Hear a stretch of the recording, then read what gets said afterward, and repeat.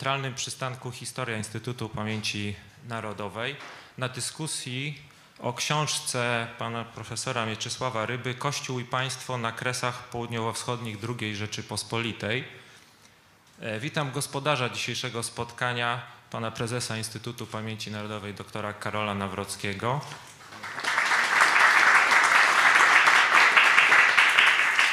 Witam e, autora publikacji, wokół której toczyć się będzie dzisiejsza dyskusja, pana profesora Mieczysława Rybę z Katolickiego Uniwersytetu Lubelskiego. Witam bardzo serdecznie uczestników dyskusji, pana profesora, profesora Przemysława Czarnka, ministra edukacji i nauki, profesora Katolickiego Uniwersytetu Lubelskiego, e, pana profesora Andrzeja Gila, z Katolickiego Instytutu Lubelskiego również. E, miał być z nami uczestniczyć w dyskusji pan profesor Jan Żaryn, e, dyrektor Instytutu Dziedzictwa Myśli Narodowej, profesor Instytutu kardynała Stefana Wyszyńskiego. Niestety przed chwilą się właśnie dowiedzieliśmy, że z powodu niespodziewanych okoliczności i spraw zawodowych e, nie przybędzie na dzisiejsze wydarzenie. A witam e, również serdecznie pana profesora Karola Polejowskiego, zastępcę prezesa Instytutu Pamięci Narodowej. Witam również pana profesora Tomasza Nowickiego, dyrektora Instytutu Historii Katolickiego Uniwersytetu Lubelskiego. E, I witam pana Kacpra Sakowicza, dyrektora gabinetu ministra kultury. Dziękuję Państwu za przyjęcie zaproszenia na dzisiejszą dyskusję, e, a nasze spotkanie zainauguruje Pan Prezes Instytutu Pamięci Narodowej, e, którego poproszę o zabranie głosu.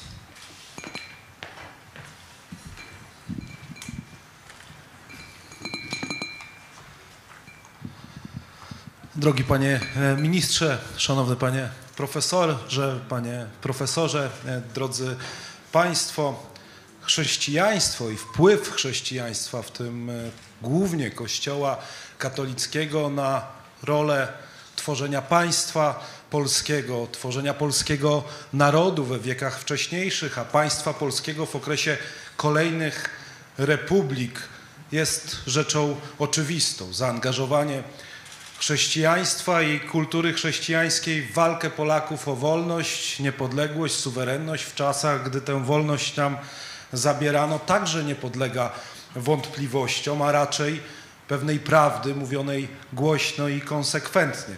Nie trzeba pisać naukowych opracowań i książek, aby o tej prawdzie wiedzieć. Ta prawda jest dzisiaj powszechna i oczywista.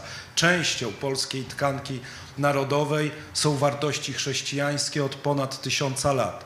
Natomiast pochylić się nad zagadnieniem tak skomplikowanym jak struktura wyznaniowa, i narodowa II Rzeczpospolitej w okresie międzywojennym wymaga odwagi, naukowej determinacji, wymaga też ogromu pracy i czasu. Stąd książka pana profesora Mieczysława Ryby, Kościół i państwo na kresach południowo-wschodnich II Rzeczpospolitej, wydanej przez Instytut Pamięci Narodowej, zostaje przez nas przyjęta z wielką radością i szacunkiem dla pana profesora. Chciałem panu profesorowi za to serdecznie podziękować. Wiemy, drodzy Państwo, że druga Rzeczpospolita była właściwie tyglem narodowości, mozaiką narodowości obywateli tego samego państwa, niepodległego, suwerennego państwa polskiego. Biorąc pod uwagę, że w okresie międzywojennym w Polsce mieszkało około 4 milionów według różnych statystyk Polaków, wyznania grecko-katolickiego, a Lwów był przecież stolicą trzech metropolii, widzimy, jak to zagadnienie jest skomplikowane, jakim polem minowym i historycznym, i politycznym, i geopolitycznym jest przygotowanie takiej publikacji. Pan profesor Mieczysław Ryba dołożył jednak wszelkich starań, żeby ta publikacja zachowała warsztat naukowy, to kwerendy, nie tylko w Polsce, nie tylko na Ukrainie, ale także na Litwie i na Słowacji, to kwerendy prasy wychodzącej w okresie międzywojennym, to sięgnięcie do wielu znanych publikacji, monografii i książek. To kawał solidnej literatury naukowej. Drodzy Państwo, spoglądając na okładkę i widząc biskupa Bilczewskiego, biskupa Szeptyckiego, biskupa Teodorowicza, nie zobaczymy tutaj biskupa Homyszyna, który jednak jest bardzo szczegółowo opowiedziany e, w tej książce. Przychodzi mi do głowy jej fragment z rozdziału czwartego, który zainteresował mnie najbardziej. Na stronie 138 pan profesor napisał wprost, że to, co połączyło duchownych wszystkich obrządków, a także państwo polskie, to niechęć do systemu komunistycznego rodzącego się i bardzo ekspansywnego w latach 30. To dla mnie clue, że system komunistyczny, który tak bardzo doświadczał polski naród i który zabił biskupa Homyszyna w roku 45, był zbudowany w wielkiej kontrze i w nienawiści do wszystkich wartości chrześcijańskich. Cieszę się, że ta książka też szuka tego, co łączyło wszystkich tych duchownych. Za to również panu profesorowi dziękuję. Tu stawiam kropkę, bo ja sam z niecierpliwością, drodzy państwo, czekam na tę dyskusję. Dziękuję bardzo.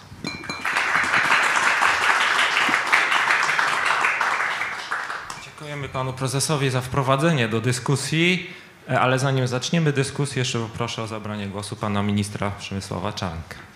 Kilka słów poproszę.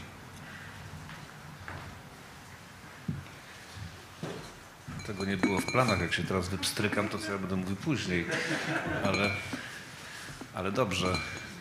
Szanowni Państwo, z Panem Prezesem na czele i z Panem Profesorem, jak wchodziłem tutaj, to mi się przypomniała promocja książki Pana Profesora Mieczysława Ryby, to już chyba kilkanaście lat minęło, nie?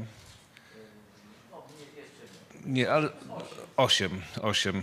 W Trybunale Koronnym w Lublinie z udziałem pana profesora Kieresia Henryka odkłamać wczoraj i dziś. I pan profesor Kiereś wówczas w sposób dla siebie właściwy Y, bardzo luźny, ale niezwykle y, precyzyjny, wyjaśnił, dlaczego ta książka Odkłamać wczoraj i dziś jest tak dobra. No bo napisał ją profesor, który ma rzadką cechę u profesorów, otóż używa rozumu. Y, I dlatego cieszę się, że dzisiaj po raz kolejny spotykamy się już teraz w Warszawie, w Instytucie Pamięci Narodowej na promocji kolejnej książki pana profesora Mieczysława Ryby, bo to jest książka napisana z rozumem. A dzisiaj w tych czasach niespokojnych, niezwykle o czym będę jeszcze mówił w tej dyskusji, dyskusji.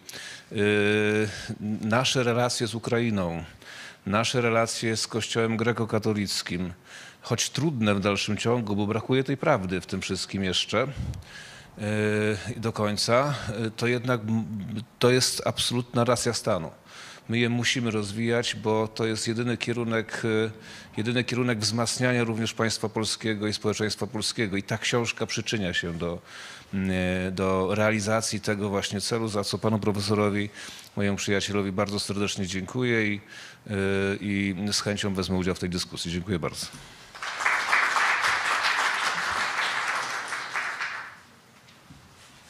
Dziękujemy panu ministrowi. Teraz poproszę e, wszystkich uczestników dyskusji o zajęcie miejsc na sali.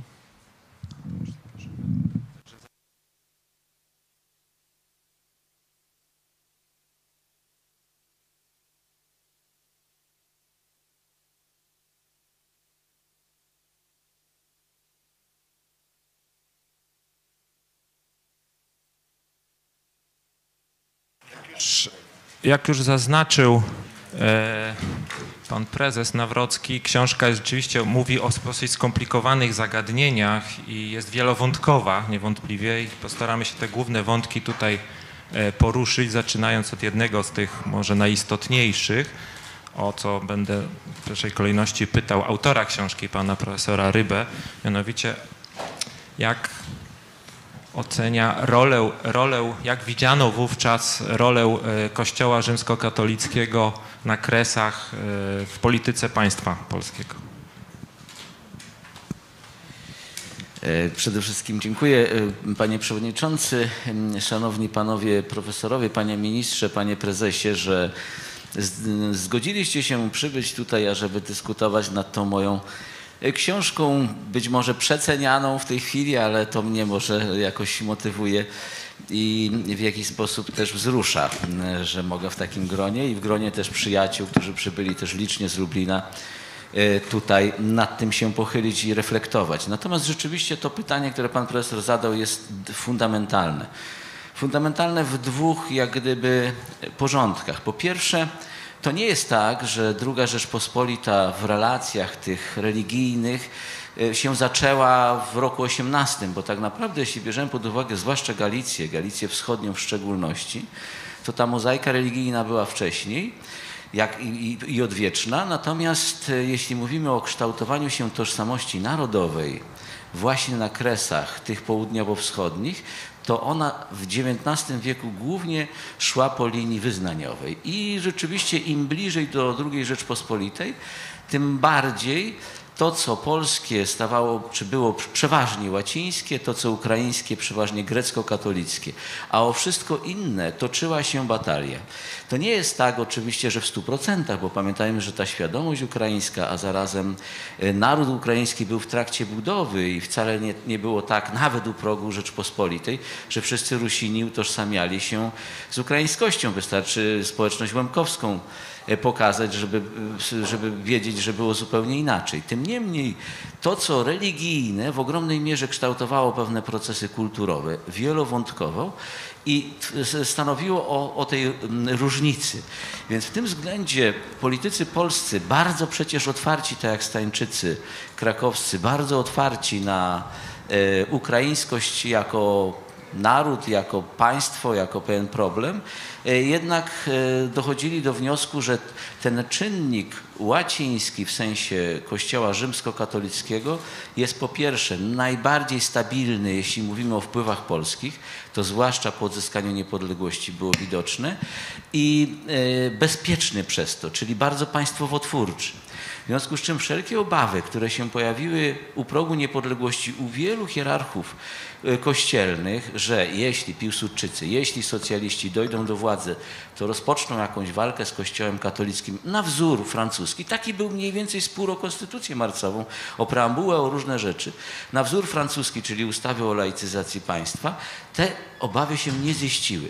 To znaczy każdy, kto miał patriotyczne nastawienie, kto szanował i chciał zatrzymać wszelką ekspansję zewnętrzną i dezintegrację państwa polskiego, musiał wiedzieć i doświadczać, że Kościół rzymskokatolicki na Kresach stanowi ostoję polskości i postaw propaństwowych polskich a różne czynniki zewnętrzne, a także pewne wewnętrzne, jeśli mówimy o procesach rewolucyjnych, chciały tego, tej e, destrukcji tego wszystkiego.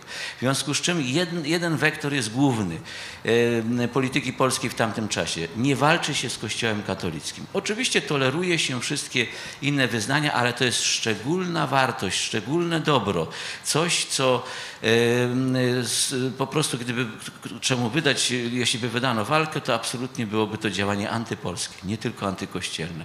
I to jest fundament, który się tylko będzie powielał.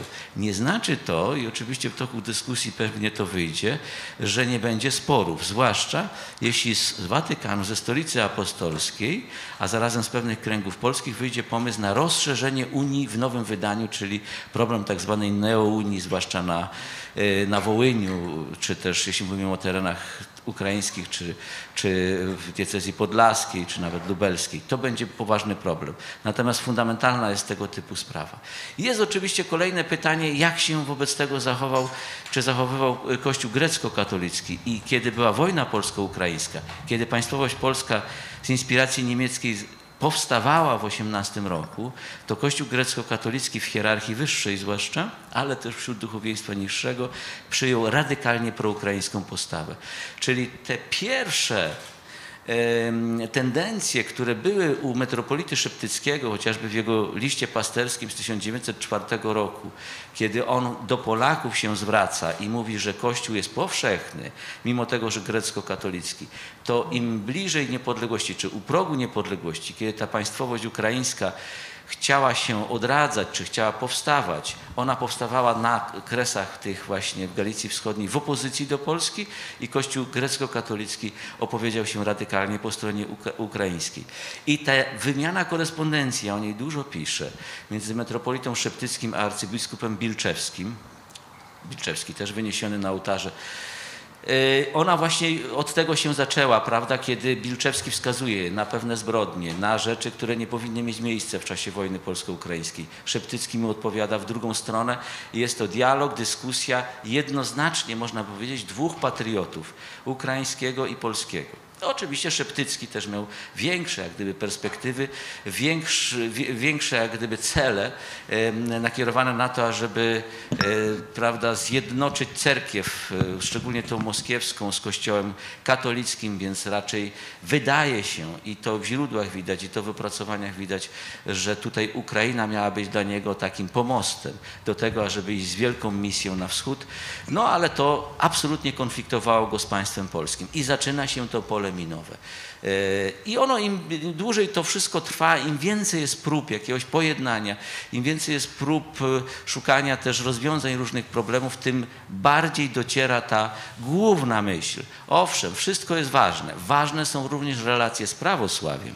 O tym też można by było dużo powiedzieć, ale istota jest taka: bez Kościoła rzymskokatolickiego nie ma polskości na kresach i nie ma głównego czynnika, który stabilizuje przynależność tych kresów do państwowości polskiej. A szukano nie tylko wśród narodu polskiego. Pamiętajmy, że szukano intensywnie pewnych środowisk, nawet narodowości i wyznań, które będą tę państwowość stabilizować. Rzym najbardziej stabilizował Polskę na kresach.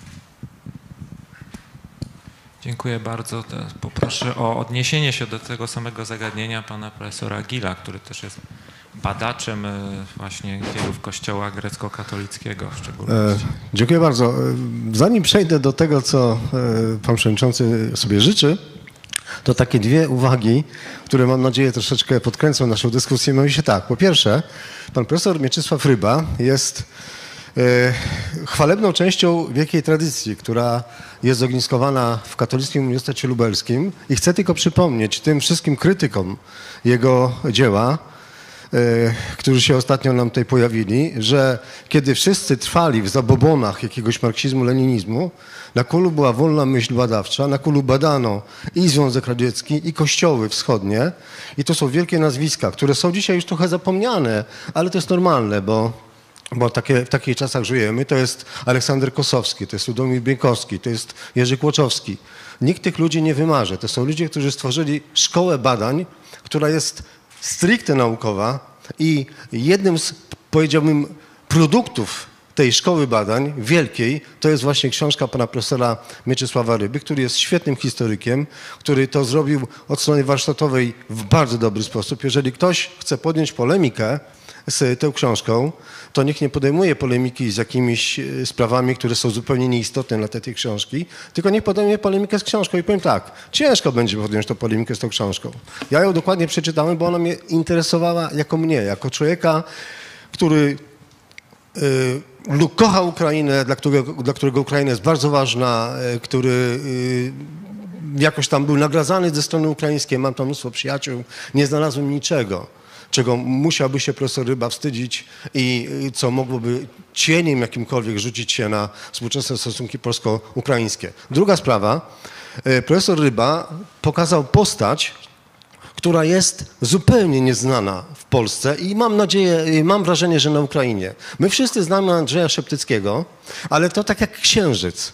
Znamy jasną stronę księżyca, ale nie znamy tej drugiej strony. Y, Po pierwsze, pokazał tą drugą stronę Szeptyckiego, a po drugie, pokazał, że oprócz Szeptyckiego jeszcze było inne życie. To jest Rychorij Homyszyn. I to jest też cud, proszę Państwa. Każdy, kto choć troszeczkę e, wierzy w cuda, to wie, że to, że jego dzieło, e, dwa carstwa, dwa królestwa, które w cudowny sposób się zachowało, zostało wydane dzięki fantastycznej pracy wielu ludzi, to jest skarbnica wiedzy o tym, co było poza Szeptyckim. Okazuje się, że w latach 20-30 to nie Szeptycki trzymał rząd dusz. To było więcej ludzi, więcej środowisk. Między innymi to był właśnie Hrygory Homyszyn, który był Ukraińcem, który był patriotą ukraińskim, który naprawdę e, no, miał wobec Polski bardzo krytyczne zdanie, ale który był przede wszystkim katolickim biskupem. Był biskupem katolickim. I to była postać, i to właśnie w tej książce, być może kogoś to uwiera, ale to już jest jego problem. To już jest naprawdę jego problem, bo ta książka pokazuje tą fantastyczną stronę dążeń Ukraińców do zaistnienia, do pewnej autonomii, ale w ramach pewnego porządku, nawet nieprawnego, pewnego porządku kulturowego, cywilizacyjnego. Najpierw jesteśmy katolikami, a dopiero później jesteśmy Ukraińcami. On odrzucił wszelki nacjonalizm. On odrzucił te modne wówczas i różne izmy, które Szeptycki w jakiś sposób akceptował, które akceptowała większość duchowieństwa ukraińskiego, grecko- grecko-katolickiego. On powiedział nie.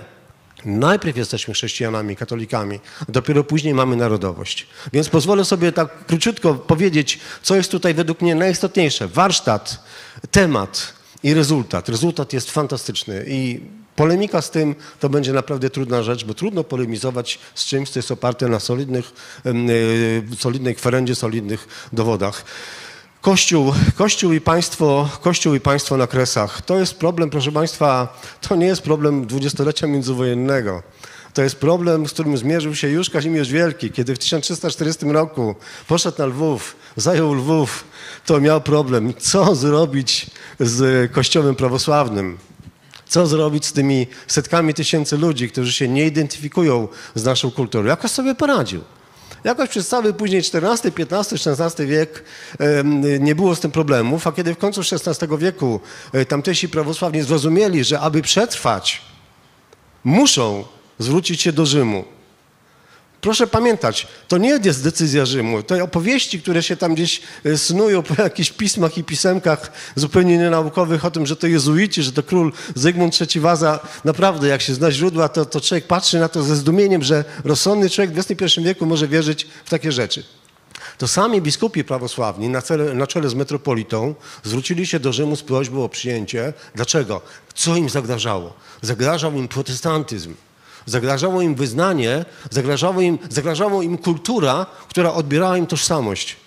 Gro szlachty prawosławnej w drugiej połowie XVI wieku, zwłaszcza po Unii Lubelskiej, przeszło na stronę protestancką. Praktycznie została hierarchia i wierni, natomiast elita odeszła. I ratunku upatrywali w Rzymie, ale także ratunku upatrywali w królu.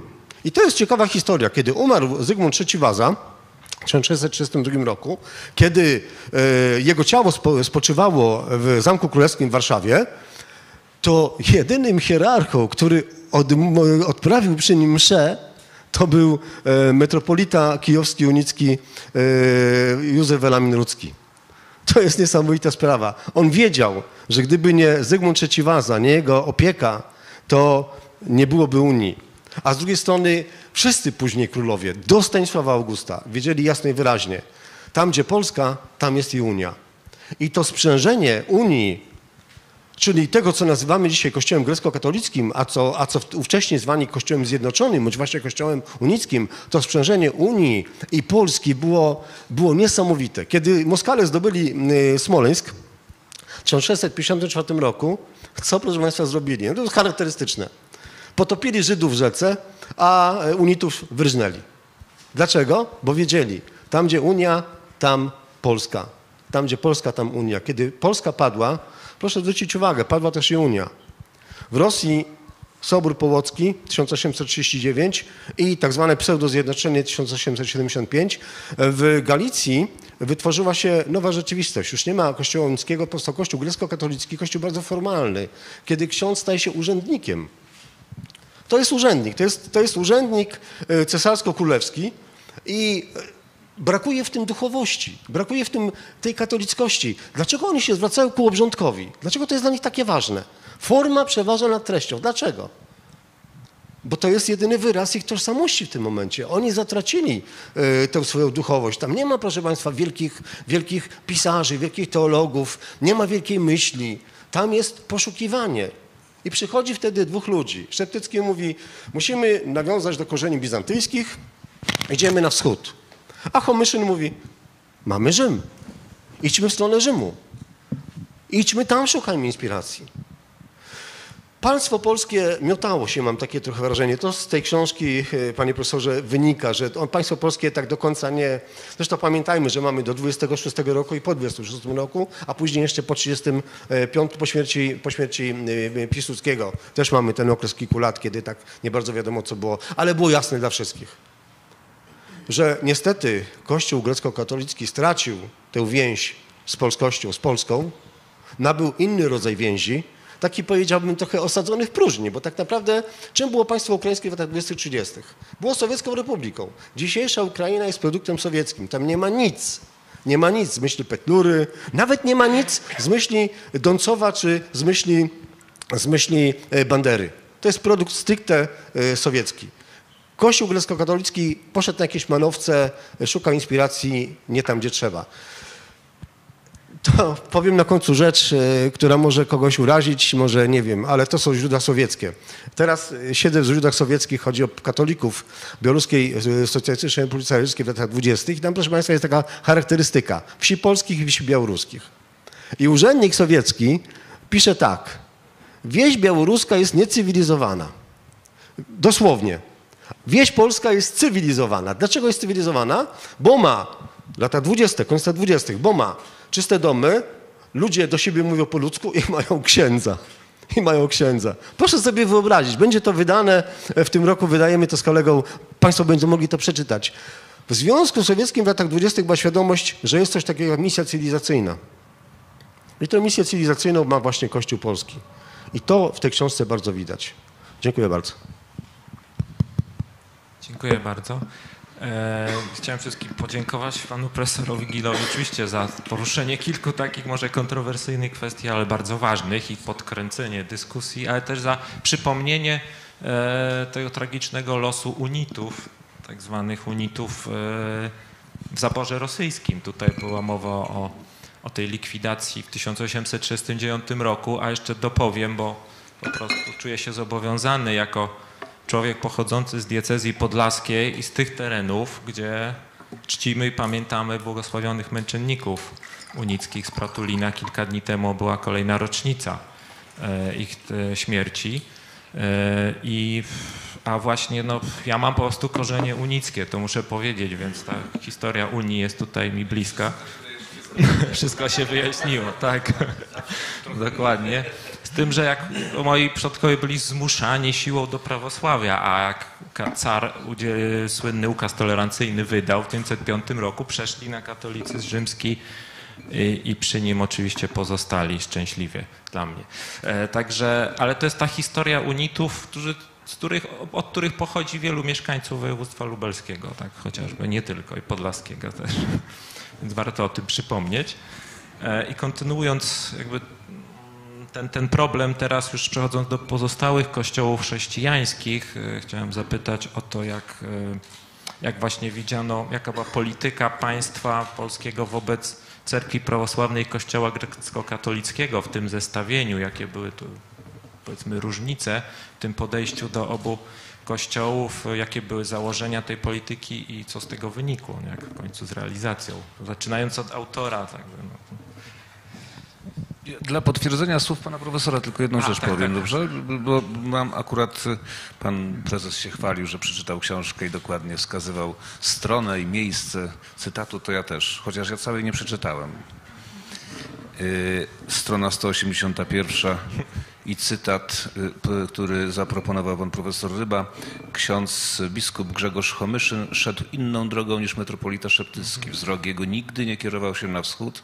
Jego trzeźwego i realnego umysłu nie pociągały niepewne, chociaż wielkie, mgliste, nieraz graniczące z fantazją koncepcje unijne. On chciał przede wszystkim czuć u siebie w domu twardy grunt pod nogami. Cóż to oznaczało w praktyce? Wypowiedzieć w imię katolicyzmu walkę dwom potężnym w kościele grecko-katolickim siłom tradycji prawosławnej i niczym nieokiełznanemu nacjonalizmowi i kierować się przede wszystkim w kierunku Rzymu i w kierunku cywilizacji łacińskiej. Tak wynika również z tego, z tego cytatu proponowanego przez pana profesora na stronie 181 pod koniec, pod koniec strony, żeby być precyzyjnym, co potwierdza to, co pan profesor przed momentem powiedział. Bo ja też tę książkę przeczytałem. E, no, dziękuję bardzo panu ministrowi za przypomnienie tego fragmentu książki, bo to właśnie kolejna kwestia istotna, którą tak w ogóle w tej książce jest bardzo ważna, to jest, to już o tym padło dzisiaj kilka razy to nazwisko biskupa Homyszyna, więc oczywiście to jest dosyć fundamentalny taki spór wewnętrzny w ówczesnym kościele grecko-katolickim, który w jakimś sensie no, no odżył po wydaniu tej książki Dwa Królestwa. Dzisiaj na Ukrainie też te dyskusje odżyły i jest ten, jest, jest ten taki podział na powiedzmy tych, którzy tą opcję Homyszyna dalej popierają i tych, którzy popierają opcję Szewtyckiego, czyli kwestię jakby prozachodnią i prowschodnią, tak, bo to taka opozycja. E, Przede wszystkim chciałem podziękować, bo przyznam szczerze, kiedy się takiej dyskusji uczestniczy, to też autor e, czeka na recenzje mocne, krytyczne, nieraz, zwłaszcza, że gdy ma do czynienia z tak wybitnymi postaciami, znawcami tematu. To dziękuję. Już teraz będę się wszędzie e, w odniesieniu do krytyków powoływał na słowa panów profesorów, pana ministra i jakoś może się wybronię. to tak pół żartem, pół serio. Natomiast rzeczywiście pan profesor Gil wskazał na bardzo poważny problem, jak Rzeczpospolita z tym problemem, nazwijmy to wyznaniowo-narodowościowym sobie radziła i Kościół grecko-katolicki nie był jedynym, jedyną kwestią, jedynym problemem i tu wchodzi w pewnym momencie prawosławie, bo tak jak pan profesor pięknie wywiódł te różne momenty likwidacji Unii, to wiemy, że Wołyń już był po tej likwidacji i w istocie nie tak jak na Podlasiu, gdzie ta Unia się odradzała, czy też raczej powrót do Kościoła rzymskokatolickiego e, po rewolucji 1905 roku następował, tylko tam nie. Tam po prostu mieliśmy do czynienia z Rusinami, potencjalnymi Ukraińcami w sensie politycznym i o nich e, rozpoczęła się batalia. W którym kierunku e, ma się nakierować polskie państwo?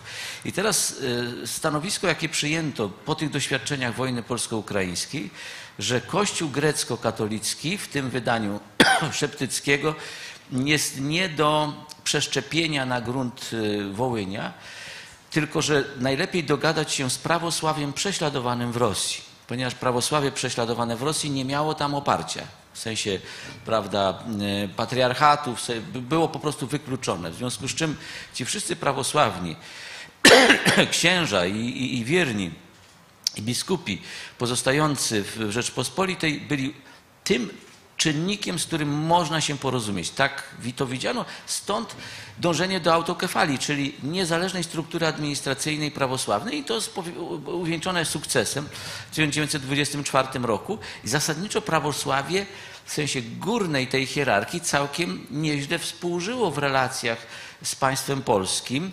E, to nie jest tak, jak się gdzieś tam historycy mówią, no ale przecież nie miało tych samych praw co Kościół katolicki. No tak, no bo były likwidacje e, cerkwi, tych soborów, tak jak w Lublinie czy w Warszawie, no ale to były, to były likwidacje symboli dominacji carskiej w, w guberniach poszczególnych, a nie e, powiedzmy likwidację miejsc kultu religijnego. I w tym sensie powstaje pewien problem rzeczywiście, który pan profesor Gill zasugerował, mianowicie pojawia się ten temat neounii, czyli Stolica Apostolska tradycyjnie, odwiecznie wręcz, y, Unia Florencka, Dabrzeska i inne, y, stara się pojednać z prawosławiem, przyciągnąć do, do jedności ten wschód i stara się wykorzystać polskie duchowieństwo do tego, ażeby z tym pójść. No na przykład na Wołyń, na przykład na Polesie i od tego później iść w kierunku Rosji. Ale tu jest obawa, że wszystkie praktycznie rządy polskie miały potężną obawę, że to się zamieni w ten przypadek galicyjski, czyli że wytworzy się separatyzm jakiś, albo ukraiński, albo jakiś ruski i z tym separatyzmem sobie nie poradzą. I w tym względzie, jeśli Kościół katolicki, ten rzymski, bo w oparciu o jego hierarchię była ta misja e, prowadzona, szczególnie e, biskup Przeździecki, prawda, Henryk Przeździecki, ten z Podlaski, który uważał się za dziedzica tych męczenników pratulińskich. On stara się to realizować, to władze państwowe polskie starają się temu przeszkadzać. Chcą się dogadać z prawosławiem, a uważają, że neounia będzie e, taką unią jak w Galicji, w związku z czym będzie nacjonalizm, w związku z czym będzie e, czynnik odśrodkowy i zaczyna się problem. Oczywiście to się nie udało, bo to nie jest tak, zresztą wiemy to z czasów II wojny światowej, że, że Wołyń nie był, że był wolny od ideologii ukraińskiej. No wręcz przeciwnie, tam znamy te zbrodnie wołyńskie z czasów okupacji, więc to się nie udało, aczkolwiek e, poszerza się ta perspektywa. Ja dlatego w tej książce umieściłem też rozdział o prawosławiu, ponieważ ono było ważnym tłem tej całej polityki wyznaniowej państwa. Czyli państwo polskie mówi tak, jak chcecie nawracać ludność ruską, ludność ukraińską na Wołyniu, czy na Polesiu, czy gdziekolwiek, jak najbardziej na obrządek rzymski. Ale jeśli, jeśli na neounię, to jest to zagrożenie. A już największym zagrożeniem by było zrealizowanie aspiracji metropolity szeptyckiego, który chciał temu przewodzić. On miał takie marzenie. To była jednak postać o ogromnych horyzontach. To była postać wywodząca się przecież z polskiej rodziny arystokratycznej. To była postać, która miała tę misję, przynajmniej tak Szeptycki uważał, że y, y, słownie, niepisemnie, ale papież Pius X, że mu taką misję dał nawracania e, Rosji, nawracania prawosławnych na, na katolicyzm. I tu władzom polskim udaje się odseparować Szeptyckiego od tej całej akcji neounijnej. W oparciu to o, e, dzieje się o duchowieństwo łacińskie, ale przy bardzo dużym sceptycyzmie władz polskich. Więc w tym sensie to był, wydaje mi się, jeden z najbardziej zapalnych elementów sporu Kościoła rzymskokatolickiego, bo to stolica apostolska e, forsowała i państwa polskiego w okresie międzywojennym. Stolica apostolska chce neounii i nawracania scho- wschodu na nową Unię, no nie w wydaniu galicyjskim, bo na to się zgodzono, a władze polskie obawiają się, że to się zamieni w to samo, co się działo w ten konflikt e, religijno-narodowościowy, czy bardziej narodowościowy na tle religijnym w Galicji, więc mniej więcej tak to wygląda. Profesor Gil zgodzi się z tą opinią. E, Powiem tak. e, Problem ten jest tak, tak obszerny, że tu nie jedna książka, ale cały cykl e, książek trzeba byłoby na- napisać, bo wbrew temu, co myślimy, to te badania są dopiero w fazie początkowej. Mamy oczywiście literaturę, e, pani profesor Papierzyńska-Turek, jej, jej książka e, Państwowość Prawosławia, właśnie e, pana profesora Ryby, ale to jest szereg, zacznijmy od początku. Wszyscy pamiętamy Michała Buchakowa, mistrza Małgorzatę i pokolenie ludzi jak Buchakow. Dlaczego o nim mówię? Bo to był Popowicz, syn popa. W, na przełomie XIX-XX wieku w Rosji nastąpił totalny kryzys prawosławia, ale totalny, całkowity. I ludzie, którzy wyrastali w rodzinach księżowskich, stworzyli to pokolenie rewolucjonistów. Rewolucjonistów politycznych, rewolucjonistów kulturowych, tych, którzy zanegowali nie tylko prawosławie, ale w ogóle idee sakrum.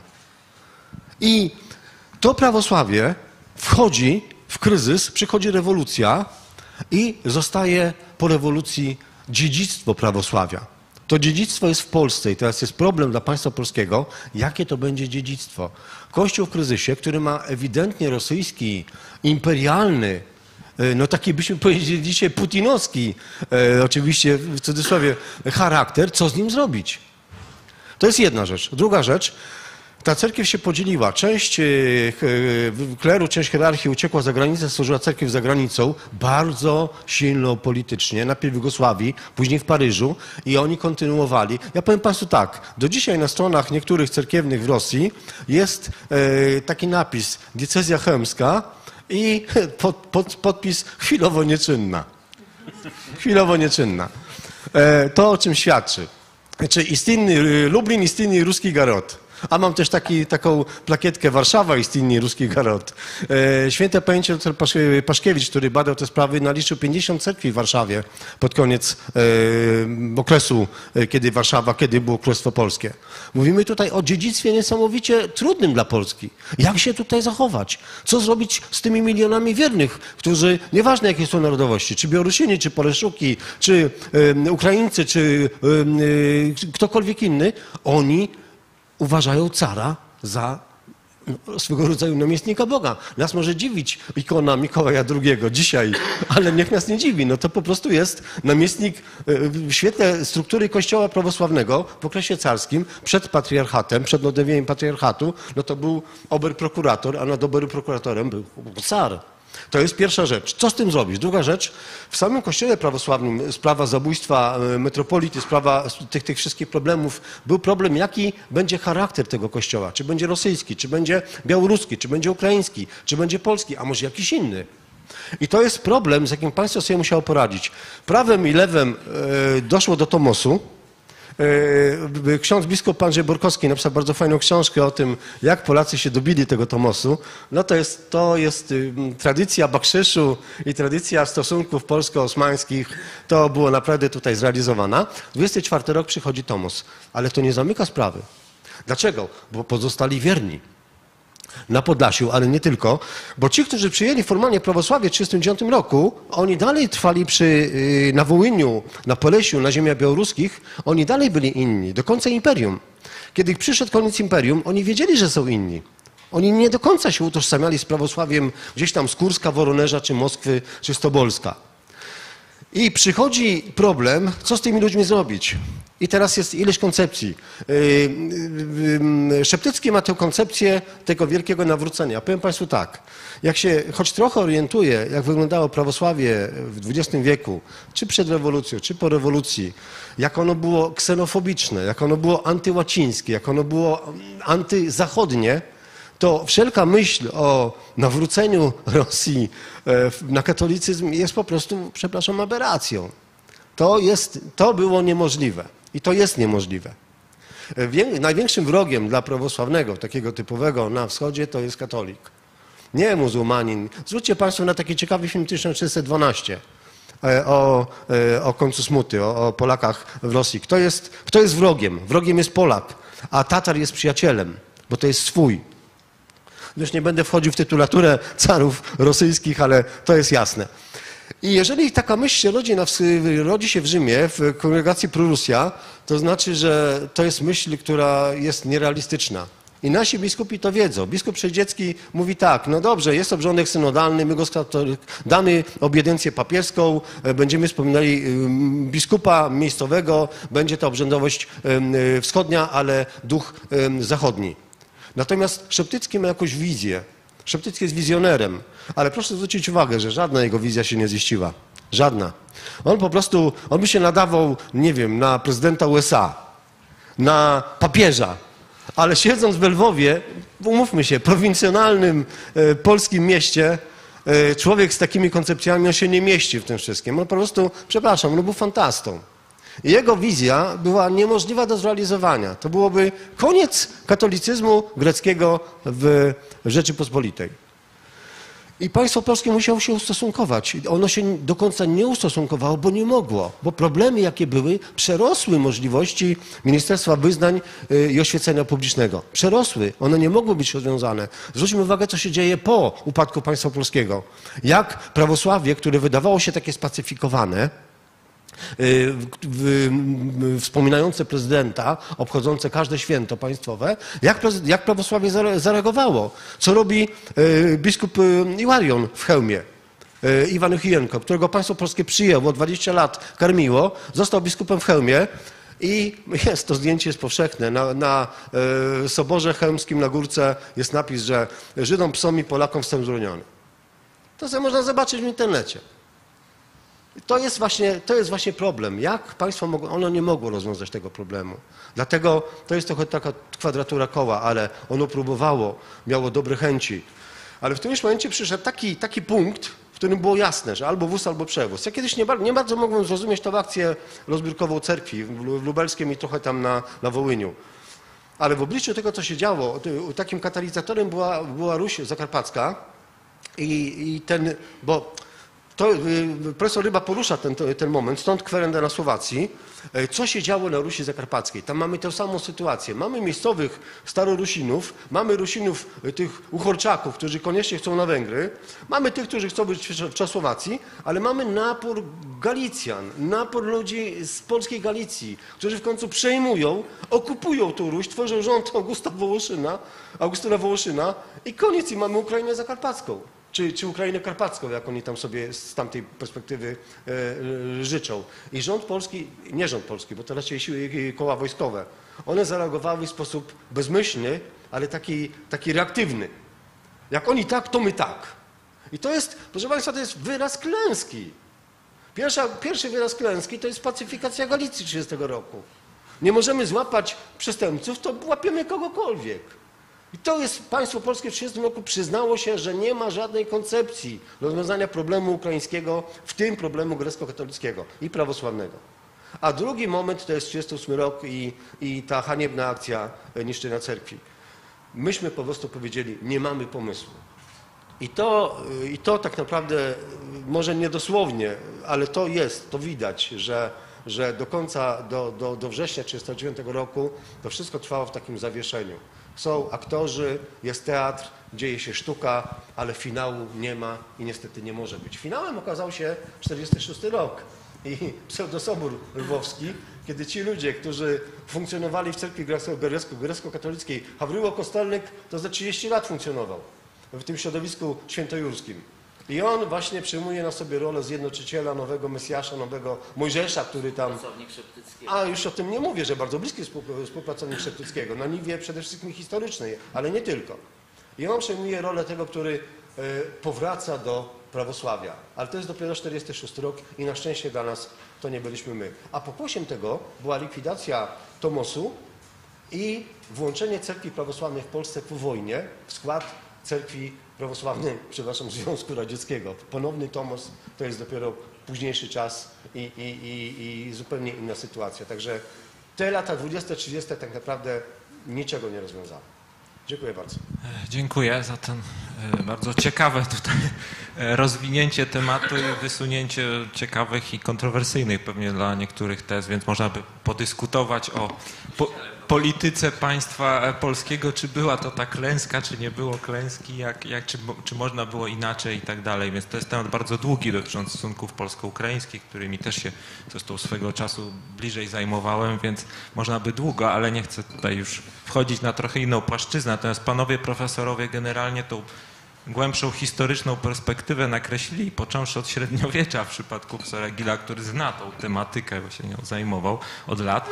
E, w ogóle jak kształtował się najpierw Unia tak, Brzeska i potem co się z nią działo.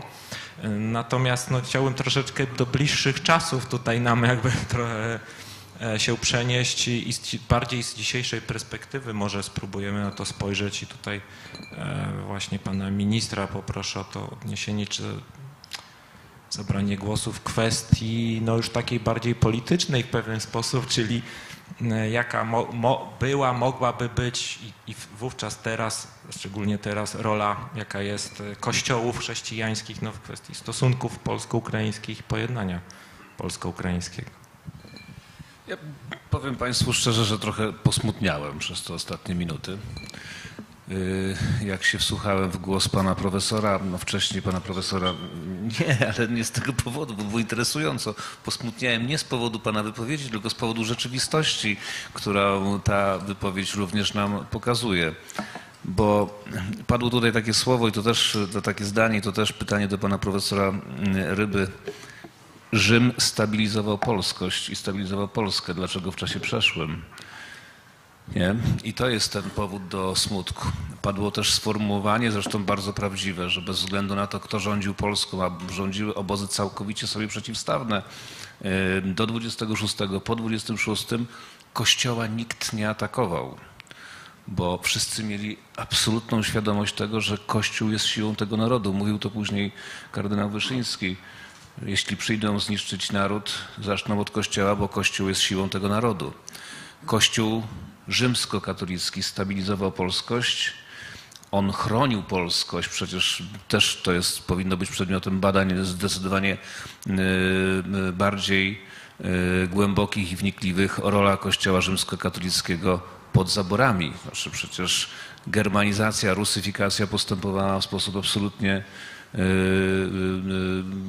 mocny, a jednak uratowaliśmy się jako naród i nie mam najmniejszej wątpliwości, że tutaj kluczową rolę odegrał Kościół rzymskokatolicki i ta cywilizowana wieś, bo miała księdza, yy, bo miała księdza i ten ksiądz, i ten ksiądz, tak, i ten ksiądz z tej cywilizacji łacińskiej, z tego zachodu, yy, on yy, nam, nas stabilizował, nie ma wątpliwości. No i teraz jak, skąd smutek, no jak Państwo teraz popatrzycie na to, co się dzieje dzisiaj, to się dzieje dokładnie to, o czym mówił kardynał Wyszyński, dokładnie to, czemu się sprzeciwiali przywódcy państwa polskiego II Rzeczpospolitej, bo rozumieli, że Kościół jest siłą narodu.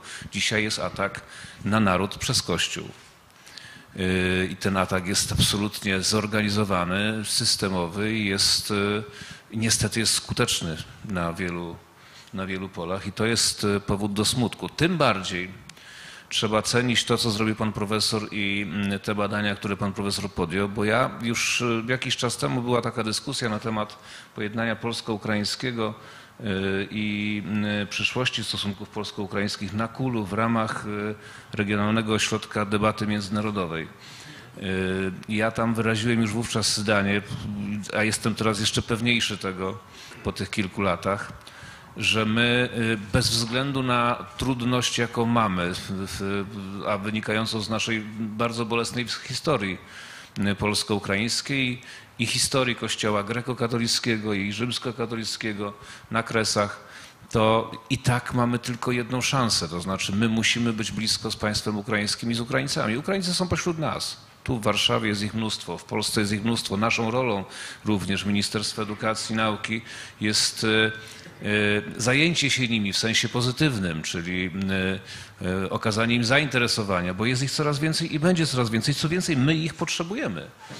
I nie mamy z nimi problemu, zobaczcie Państwo, bo nie mamy z nimi problemu żadnego kulturowego. Oni są, mimo że są z, ze wschodu i z tradycji wschodniej, z tej tradycji prawosławnej, głównie prawosławnej, bo przecież ci grekokatolicy stanowią mniejszość wśród tych Ukraińców, którzy mm, są w Polsce. To jeszcze w ogóle jest kwestia nazywania kogoś grekokatolikiem albo prawosławnym w kontekście jego wiary. To jest jeszcze inna, inna rzecz i czy on rzeczywiście jest wierzący, czy nie jest. To, to o tym teraz nie dyskutujemy, ale mm, mimo wszystko wszystko my się na tym musimy skupić, bo jak spojrzycie Państwo na zmianę struktury społecznej i religijnej państw zachodnich, w tym w szczególności Niemcy, Niemiec, i zobaczycie Państwo tempo, w jakim ta struktura się zmieniała na przestrzeni nie ostatnich 200 lat, tylko 50 lat. I jak sobie uzmysłowimy fakt, że to, to tempo się nie zmniejszy, może tylko przyspieszyć, to za 15-20 lat i tak nam będzie łatwiej się dogadać z księdzem grekokatolickim w Lwowie niż z imamem w Berlinie. Y, tak to po prostu idzie w tym kierunku i musimy mieć tego, musimy mieć tego świadomość. Stąd wszelkie zabiegi, które by y, przyczyniały się do pojednania polsko-ukraińskiego i do zbliżenia kościołów rzymskokatolickiego, grekokatolickiego są jak najbardziej, y, jak najbardziej wartościowe, a to można zrobić tylko w oparciu o prawdę. Żadne relacje międzynarodowe również, żadne relacje społeczne nie, y, y, nie zostały trwale zbudowane i w sposób pozytywny bez oparcia ich na prawdzie. Jeśli będziemy szukać jakichś innych sposobów y, opierania tych relacji, aniżeli na prawdzie, no to do niczego tutaj, do niczego tutaj nie dojdziemy. I w tym sensie ta książka rzeczywiście nie zawiera żadnych kontrowersyjnych, kontrowersyjnych ujęć. Ona mówi o tym, jak to wyglądało na kresach południowo-wschodnich drugiej II Rzeczpospolitej. I my dzisiaj jesteśmy w takim momencie, Szanowni Państwo, naszej historii, naszych dziejów, e, e, gdzie, w którym no, jeden z arcybiskupów polskich powiedział, że z ludzkiego punktu widzenia nie mamy szans. Ale tylko z ludzkiego punktu widzenia nie mamy szans, bo jest jeszcze Pan Bóg, jest Pan Jezus, jest Maryja Królowa Polski i bywały takie momenty w historii, w których też się wydawało, że szans nie mamy, a jednak wyszliśmy. Oczywiście okupione to zostało ofiarami. Pytanie, jakimi ofiarami zostanie to okupione również w przyszłości? Pewnie jakieś będą. Ale musimy się do tego zwrócić, do tej prawdy w naszych relacjach i do tych, którzy rzeczywiście tę prawdę jeszcze chcą, y, y, jeszcze chcą z nami y, odkrywać. Yy, yy, jeśli chce, chce, będą chcieli zniszczyć naród polski, zaczną od Kościoła, bo Kościół jest siłą tego narodu i na Kościół znów musimy patrzeć nie tylko jako tę instytucję, która prowadzi nas do życia wiecznego, tylko również w sensie politycznym yy, i narodowotwórczym. Kościół rzymskokatolicki stabilizował i może dalej stabilizować polskość, tylko sam też musi mówię o hierarchach e, głównie Kościoła rzymskokatolickiego, nie tylko w Polsce. Sam musi e, no, to zrozumieć i pojąć. Dziękuję bardzo. Czy panowie jeszcze w, tak też w tym temacie podsumowującym niekąd chcieli zabrać głos? Pan profesor Ryba. A to e, Ja powiem tak, że tutaj zdałem sobie przed chwilą sprawę, że siedzę, e, o, oczywiście pan minister jako minister rządu Rzeczypospolitej, E, też w jakiś tam.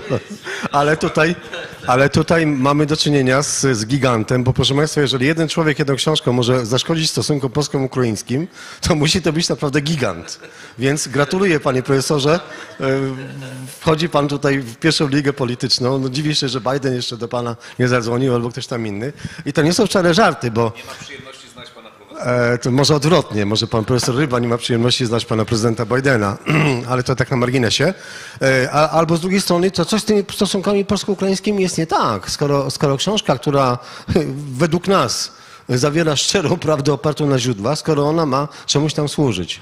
Bo Przypomnijmy sobie taką historię, to był albo koniec 89 albo 90 rok, kiedy był jakiś kongres w Lwowie, jakiś taki nacjonalistyczny i pojechało tam wtedy dwoje ludzi. Y, Bogusia Bredychowska, pani, pani Bogumiła Bredychowska i pan Adam Michnik i y, pamiętam to zdjęcie i są, są takie y, emblematy miast ukraińskich i tam jest herb Przemyśla i y, Chełma. Cheł, Prze- Przemyśla i Chełma. I wtedy 32 lata temu sobie pomyślałem, zaraz, Zaraz, zaraz. To czego my tam jesteśmy? Czego my, jak- no, jednak wtedy jedna z głównych postaci politycznych w Polsce godzi się na coś takiego, żeby było expressis verbis wyrażone, że Chełm i Przemyśl to mają należeć do jakiejś wyśnionej wielkiej Ukrainy, nie? I w tym momencie mamy taką sytuację, że te stosunki polsko-ukraińskie, one gdzieś zatraciły ten element tej prawdziwej, e, pe- pewnej prawdy, pewnej prawdziwości. Jeżeli nie wrócimy do tego, jeżeli nie oprzemy tego na prawdzie, a tu jest sama i czysta prawda, i ona coś pokazuje, ona pokazuje nasze grzechy, ale pokazuje też czyjeś grzechy, bo pan minister ma absolutną rację. I wielu ludzi, to z kręgu Giedroycia wyszła taka myśl, że kłócenie się o parę wiosek powoduje tym, że przyjdzie Moskwa i ona nas pogodzi, pogodzi nas w łagrze na Syberii. I wtedy się będziemy kłócili w jakimś łagrze syberyjskim o jakieś wioseczki na polsko-słowackim czy polsko-litewskim pograniczu. A tego chyba byśmy wszyscy, przepraszam bardzo, nie chcieli, więc potraktujmy to jako, jako pracę naukową, ale też potraktujmy to jako pewien taki wkład w lepsze poznanie się, zrozumienie, jak robimy to e, nasze dobre i złe strony. Zobaczmy, jakie są dobre i złe strony stosunków polsko-ukraińskich i odejdźmy od tych złych stron i skoncentrujmy się na dobrych. I to jest jakiś krok. Według mnie jest to rzeczywiście dobry krok do tego, żeby taki, taki, taki mm, bilans zrobić i po prostu pójść do przodu, bo pan minister ma absolutną rację. Jesteśmy na siebie skazani. Profesor Ryba jeszcze ten temat.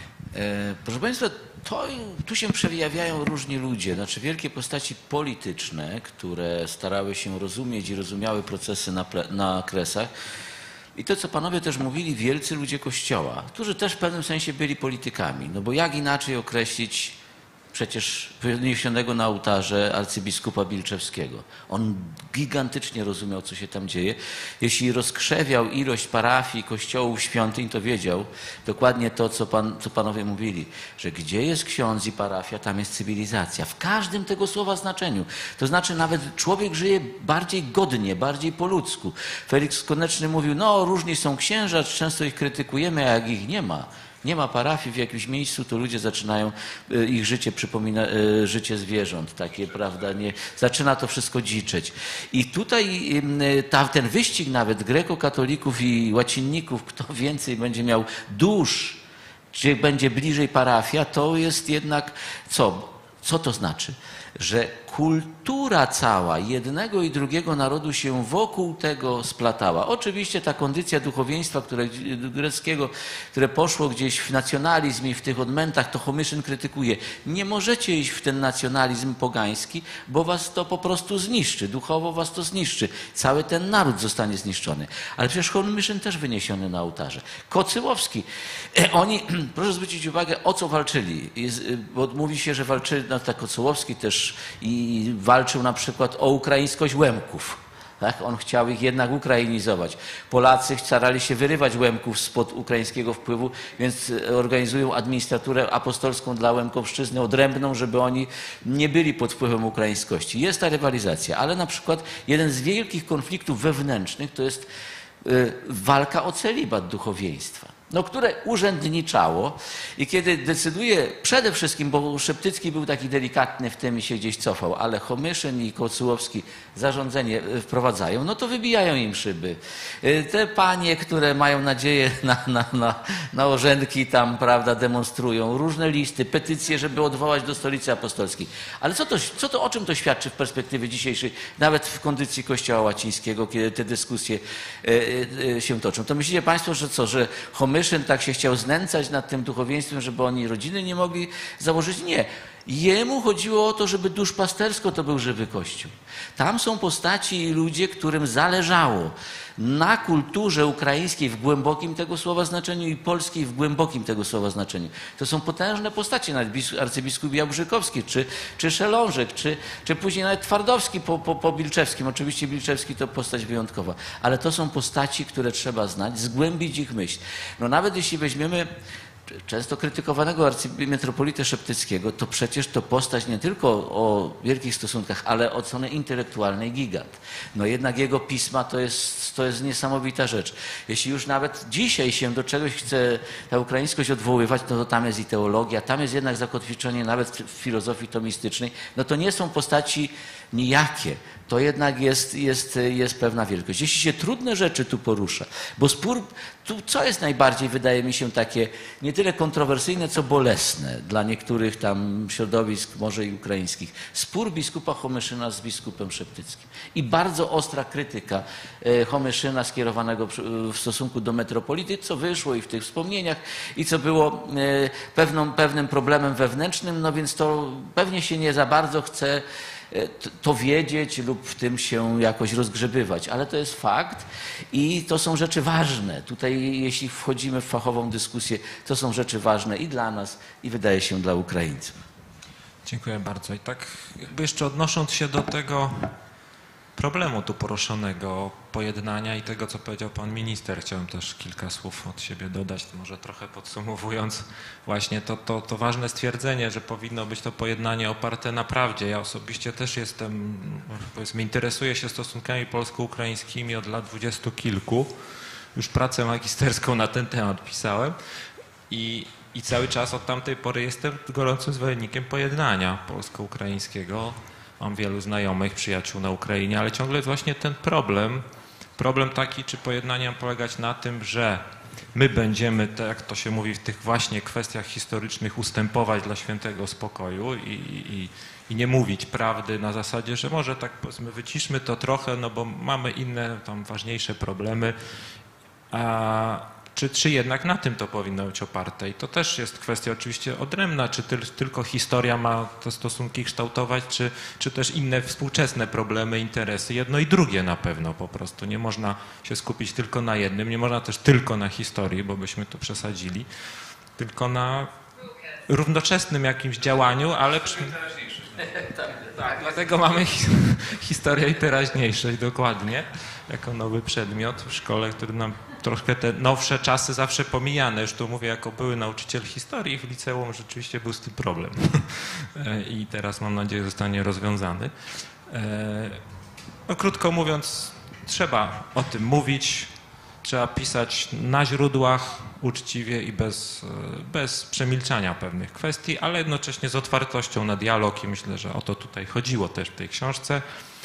Proszę Państwa, tradycyjnie też e, na naszych dyskusjach jest możliwość zadawania pytań, zabrania głosu. Myślę, że mamy na to jeszcze kilkanaście minut przynajmniej, więc kto z Państwa chciałby naszym uczestnikom dyskusji, autorowi, panom profesorom zadać głos, czy też e, zadać pytanie, czy też w ogóle zabrać głos na tej dyskusji?